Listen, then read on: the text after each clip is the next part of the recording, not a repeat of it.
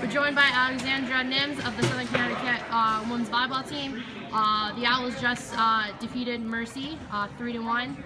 Alex, just talk about um, your overall performance. Seventh uh, season double double, 48 assists, 14 digs. Just talk about your performance tonight.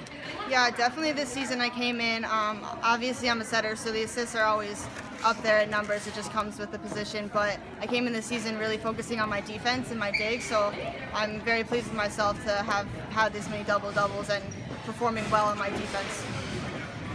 Alex, um, the, uh, the Owls were up 2-0 uh, heading into the third set.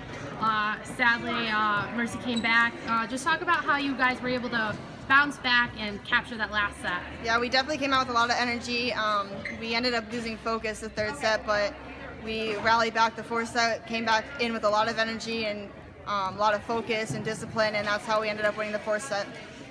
And then um, heading into this week, you guys have a big uh, home match Thursday against Bentley. They're right now fourth in the conference. Just talk about what you're going to expect from the Falcons and what your team plans to stop the Falcon offense. Um, we definitely need to work ourselves on our slumps, um, like our third set. Uh, just staying focused the whole whole game and staying disciplined the whole game and always having that energy, which should come with a high opponent um, like Bentley. Uh, Bentley wise, we're going to be watching film and focusing in and honing in on everything we can do to make it a good match. Well, congratulations on tonight's win and good luck on Thursday. Thank you so much.